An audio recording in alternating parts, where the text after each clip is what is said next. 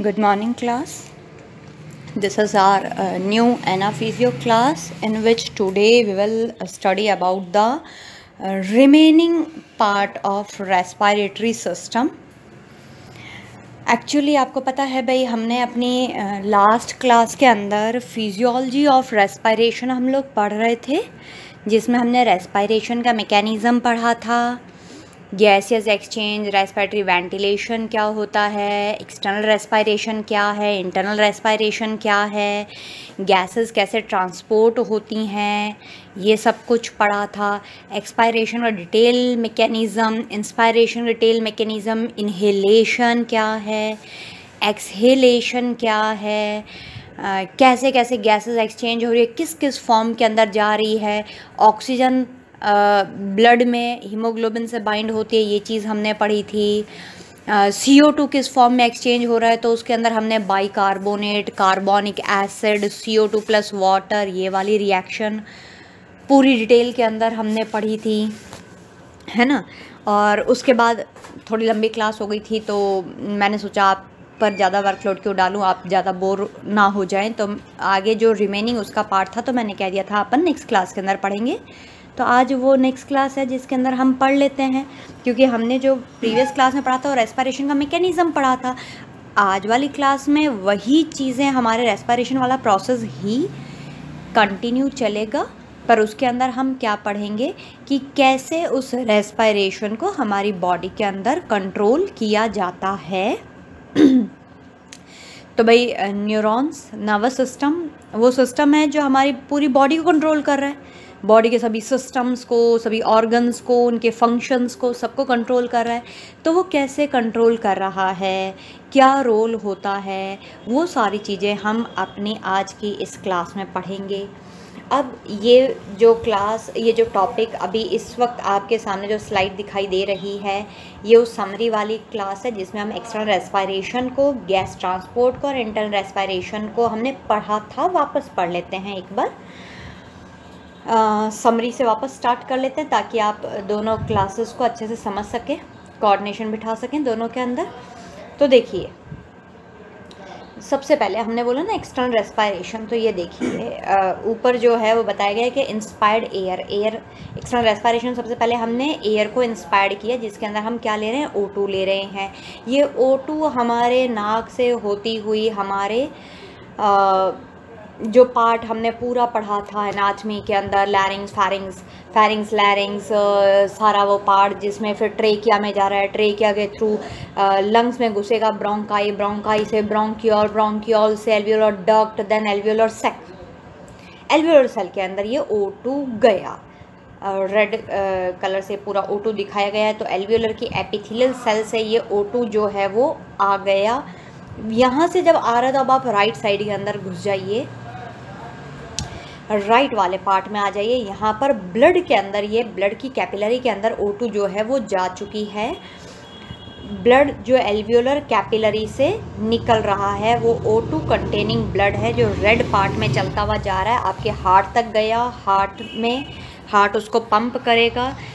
ओ containing blood को वापस arteries के अंदर और ब्लड जो है आपके टिश्यू कैपिलरीज़ में चला जाएगा टिश्यू कैपिलरी से होता हुआ आपके टिश्यूज़ के अंदर चला गया है। ये जब टिश्यूज़ के अंदर गया तो ये प्रोसेस कहलाता है इंटरनल रेस्पायरेशन बाहर से जब आया तो एक्सटर्नल रेस्पायरेशन था।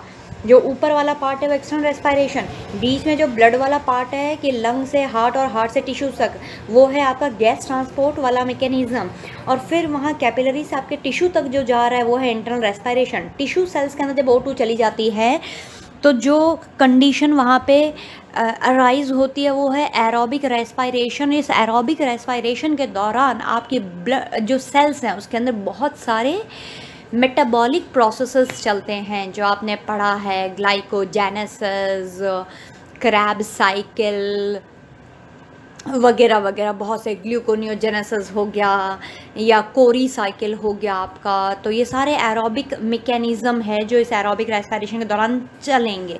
और इन्हीं मेटाबॉलिक प्रोसेसेस जो है वो ओ टू यूज़ करते हुए जब ये चलेंगे तो सी ओ टू प्रोड्यूस होती है इन प्रोसेस के दौरान। तो ये सी ओ टू जैसे प्रोड्यूस होगी टिश्यू सेल से वो सी ओ टू आपके इन ब्लड कैपिलरीज में एंटर हो जाएगी। फिर जो ब्लड इन टिश्यू कैपिलरीज को लीव करता हुआ जा रहा है, छोड़ करके जा रहा है, उसके अंदर सी ओ टू है। सी ओ टू कंटेनिंग यानी इम्प्योर्ड ब्लड है, जो आपके हार्ट में गया। हार्ट से ये ब्लड वापस आपके लंग वाले पार्ट में चला गया एल्वियोलर कैपिलरीज के थ्रू और वो कैपिलरीज से ये सी वापस छोड़ दी गई है। एल्वियोलर स्पेसिस के अंदर ये एक्सटर्नल रेस्पायरेशन है और यहाँ एल्वियोलर स्पेसिस से ये बाहर निकाल दी गई है एक्सपायर्ड कर दी गई है, यानी ये एक्सपायरेशन है। तो यहाँ पर इस डायग्राम के थ्रू हमने एक्सटर्नल रेस्पायरेशन गैस का ट्रांसपोर्ट जो ब्लड से हो रहा है पूरा ब्लड लंग हार्ट और टिश्यू तक। वो गैस ट्रांसपोर्ट और फिर ब्लड कैपिलरी से टिश्यू तक वो इंटरनल रेस्पायरेशन है। तो ये प्रोसेस हमने अपनी लास्ट क्लास के अंदर पढ़ा था और अब इस क्लास में पढ़ लिया। अब हम थोड़ा ये देख लेते हैं कि इसको कैसे कंट्रोल किया जा रहा है। तो देखिए न्यूरल रेगुलेशन ऑफ़ रेस्पायरेशन हमारे रेस्पायरेशन को नर्वस सिस्टम कंट्रोल कर रहा है। रेस्पायरेटरी जो मसल्स होती हैं, उनकी एक्टिविटी को, हमारा ब्रेन तक उन एक्टिविटीज़ को भेजा जाता है और ब्रेन उसको कंट्रोल करता है। अब ये भेजने, करने का सारा काम कौन कर रहा है? फ्रेनिक और इंटरकोस्टल नर्व्स करती हैं। कौन करता है ये भेजने, करने का काम? फ्रेनिक नर्व्स और इंटरकोस्टल नर्व्स अब हमारे ब्रेन के मेड्यूला पार्ट में, गहराई में जा कर के ये न्यूरल सेंटर होता है, जो कि इस रेस्पायरेशन की मैकेनिज्म को कंट्रोल करता है। Neural centres that control rate and depth are located in the medulla जो हमारा रेस्पायरेशन के रेट को रेस्पायरेशन की डेप्थ को कंट्रोल करता है, वो न्यूरल सेंटर हमारे ब्रेन के मेड्यूला पार्ट में पाया जाता है। और पॉन्स जो पार्ट है appears to smooth out respiratory rate. Pons के अंदर क्या चलता है हमारे? रेस्पायरेटरी रेट को स्मूथ बनाने का मैकेनिज्म चलता है कि स्मूथ बनाने मतलब कोई दिक्कत नहीं हो एकदम नॉर्मल आपकी रेस्पायरेशन चलती रहे। अगर नॉर्मल सिचुएशन है नॉर्मल सर्कमस्टांसेस है तो आपकी रेस्पायरेशन एकदम स्मूदली चलेगी। कब नहीं चलती है स्मूदली जब कोई डिज़ीज़ हो जाती है, सर्दी, जुकाम, बुखार, खांसी, उस समय ये थोड़ी सी थोड़ी सी अब नॉर्मल हो जाती है या फिर कोई क्रॉनिक डिज़ीज़ हो गई हो सीओपीडी हो गया हो ट्यूबरक्यूलोसिस हो गया हो निमोनिया हो गया हो तो उसमें ये डिस्टर्ब्ड हो जाती है। अदरवाइज़ नॉर्मली ये रेस्पिरेटरी रेट एकदम स्मूथ चलती है और उसको कौन कंट्रोल करे pons part normal respiratory rate को अपन यूपे, युपनिया कहते हैं, जो कि 12 से 15 रेस्पायरेशन पर मिनट चलता है। और अगर यही इरेग्युलर हो जाए, कम हो जाए ये जो 12 से 15 रेस्पिरेशन पर मिनट चल रहा है, अगर ये कम हो जाए तो इस कंडीशन को अपन कहते हैं डिस्निया याद कर लीजिए। D Y S O P N O E A dyspnoea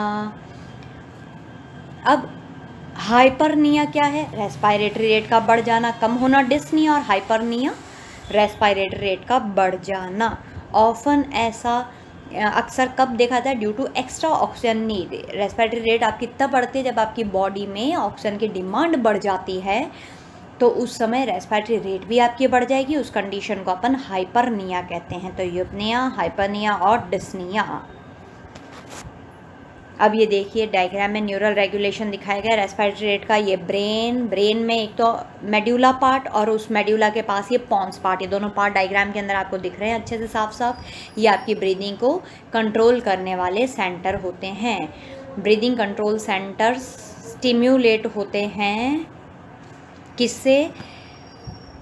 ये दो चीज़ें बताई गई। पहले तो यहाँ नर्व दिखाई गई, पहले उस नर्व को देख लीजिए। नर्व इम्पल्सिस ट्रिगर होती है, जिससे कि मसल्स का कॉन्ट्रैक्शन होता है। कौन सी मसल्स इंटरकॉस्टल नर्व्स जो है वो आपके रेस्पायरेटरी मसल्स में, जैसे डाइफ्राम हो गया इंटरकॉस्टल मसल्स होता है। इंटरकॉस्टल नर्व्स इंटरकॉस्टल मसल्स के कॉन्ट्रैक्शन रिलैक्सेशन के लिए रिस्पॉन्सिबल होती है। डाइफ्राम के कॉन्ट्रैक्शन रिलैक्सेशन के लिए रिस्पॉन्सिबल होती है। और दूसरी ये फ्रेनिक नर्व है। एक तो इंटरकॉस्टल नर्व ये फ्रेनिक नर्व्स ये दो नर्व्स आ रही हैं आपके ब्रेन से चलती हुई आ रही हैं और मसल्स के कॉन्ट्रैक्शन को शुरू करवाती हैं। और यहाँ पर ऑक्सीजन सेंसर्स हैं। आपकी आर्टरी में एओटिक आर्क में बताया गया है। इसमें नर्व इम्पल्सेस आ रही हैं। O2 सेंसर से जो इंडिकेट कर रही है कि O2 डिक्रीज़ हो चुकी है।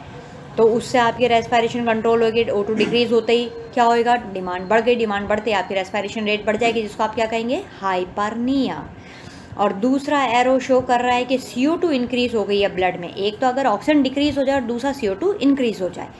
O2 का डिक्रीज होना CO2 का इंक्रीज होना। CO2 इंक्रीज होगी डायरेक्टली एक्ट करेगी, पर O2 डिक्रीज होगी तो नर्व इम्पल्स के थ्रू आपके ब्रेन को मैसेज भेजेगी और जिससे आपका ब्रेन आपको कहेगा कि आपको तेज़ी के साथ में सांस लेना है। तेज़ तेज़ सांस लीजिए। तो उससे आपकी ब्रीदिंग रेट बढ़ जाएगी रेस्पायरेशन रेट बढ़ जाएगी, जिसको आप कहेंगे हाइपरनिया ठीक है? अब आपके रेस्पायरेशन रेट को और डेप्थ को इन्फ्लुएंस करने वाले कौन कौन से फैक्टर्स होते हैं? तो physical factors volition emotional factors वगैरह। फ़िज़िकल फैक्टर्स कि बॉडी टेम्परेचर जब बढ़ता है तो आपकी रेस्पायरेशन रेट चेंज हो जाती है एक्सरसाइज चेंज हो मतलब बढ़ जाती है। अगर आप एक्सरसाइज कर रहे हैं, आप जानते हैं जिम वगैरह करिए, भागिए, दौड़िए, तेज़ से साइकिल चलाइए तो आपकी सांस तेज हो जाएगी, सांसों के आप उस तेज़ी को आराम से नोट कर सकते हैं तो एक्सरसाइज के दौरान। बात करने के दौरान ऐसा होता है टॉकिंग के दौरान रेस्पायरेटरी रेट बढ़ जाती है और कफिंग खांसी आ रही हो तब भी ऐसा देखा जाता है।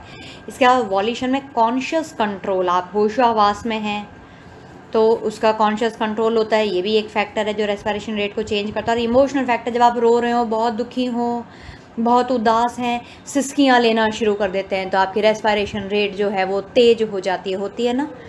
तो ये फैक्टर्स हैं। इसके अलावा देखिए एज देखिए, एक साल से छोटे बच्चे के अंदर रेस्पायरेटरी रेट जो है तीस से चालीस पर मिनट के हिसाब से चलती है। एक से दो साल में पच्चीस से पैंतीस कम हो रही है। दो से पाँच साल भी पच्चीस से पैंतीस, पाँच से बारह साल में बीस से पच्चीस और बारह साल से बड़ी एज में बारह से बीस। रेस्पायरेटरी रेट इतनी कम हो जाएगी।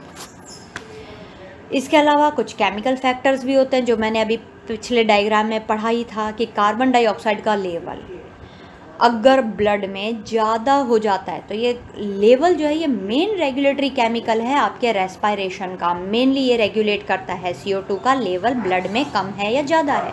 उसी के अकॉर्डिंग आपके रेस्पायरेशन की रेट भी कंट्रोल होती है। अगर CO2 बढ़ गया तो रेस्पायरेशन भी बढ़ेगा। CO2 का जो चेंज है, वो डायरेक्टली आपके मेड्यूला ऑब्लन गेटा के ऊपर एक्ट करता है, जिससे आपके रेस्पायरेटरी रेट बढ़ जाती है। जैसे CO2 बढ़ेगा मेड्यूला ऑब्लन गेटा को मैसेज मिल जाएगा और वो आपके रेस्पायरेटरी रेट को बढ़ा देगा। इसके अलावा केमिकल फैक्टर में सी के अलावा ऑक्सीजन लेवल भी सी बढ़ जाना ऑक्सीजन का, कम हो जाना भी ऐसा ही काम कर रहा होता है। जैसे ऑक्सीजन की कंसनट्रेशन आपके ब्लड के अंदर चेंज होती है तो आपके कैरोटिड आर्टरी और एओटा में जो कीमो रिसेप्टर्स होते हैं, वो इसको डिटेक्ट कर लेंगे। जैसे ही ब्लड में ऑक्सीजन की कंसनट्रेशन चेंज होएगी तो आपकी कैरोटेड आर्टरी और एओटा में जो कीमो रिसेप्टर्स हैं, वो इसे डिटेक्ट कर लेंगे और ये इन्फॉर्मेशन मेडुला ऑब्लंगेटा को देंगे, जिससे आपकी रेस्पायरेटरी रेट वापस बढ़ जाएगी। ये जो सारे पॉइंट्स हम पढ़ रहे हैं, एक बार वापस इस डायग्राम के अंदर देख लीजिए। ये देखिए सारी चीज़ें, ये तो बताइए कि ऑक्सीजन के अमाउंट ऑक्सीजन अगर डिक्रीज़ हो रही है तो मेडुला ऑब्लन गेटा को इन्फॉर्मेशन मिलेगा सी ओ टू इंक्रीज़ हो। रहा है सॉरी हाँ सी ओ टू अगर इंक्रीज़ हो रहा है तो ये भी मेडुला ऑब्लन गेटा को आपके मैसेज भेजेगा और ये सब चीज़ें क्या कर देंगी? आपकी रेस्पायरेटरी रेट को बढ़ा देंगी। तो बस ये मेकेनिज़्म है कि कैसे आपका रेस्पायरेशन रेट जो है वो कंट्रोल होता है। आज के लिए बस इतना काफ़ी है। अब आपके रेस्पिरेटरी सिस्टम के अंदर अकॉर्डिंग टू मी सिर्फ़ डिज़ीज़ बची हैं। बाकी एनाफिजियो आपके रेस्पायरेशन की कंप्लीट हो गई है। अगर कोई पार्ट मैंने लास्ट क्लास में भी आपको बोला था कि अगर कोई टॉपिक कोई पार्ट जो मैंने नहीं करवाया है, आपका छूट रहा है क्वेश्चन उस पर पूछा हुआ है, कोई इंपॉर्टेंट टॉपिक है, रह गया है तो आप मुझे इन्फॉर्म करें।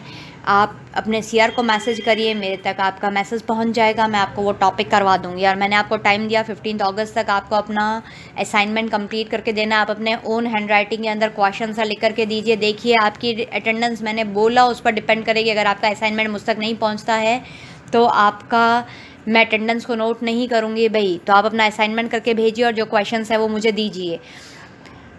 इसके बाद आज के लिए इतना काफ़ी है। नेक्स्ट क्लास के अंदर हम इसके डिज़ीज़ पढ़ेंगे। तो थैंक यू क्लास